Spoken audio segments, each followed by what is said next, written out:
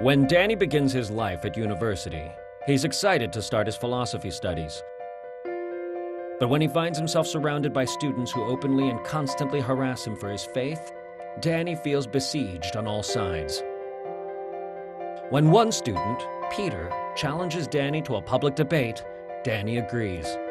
But Danny soon learns that the debate is not the open dialogue he hoped to achieve and discovers the university is actively trying to suppress his faith. Danny will risk his student status and his future in order to stand up for what he believes. Discover this unique tale of a powerful faith alone on an island of hostility as one young man finds himself paying a heavy cost for his beliefs in author James L. Lowther's The Debate.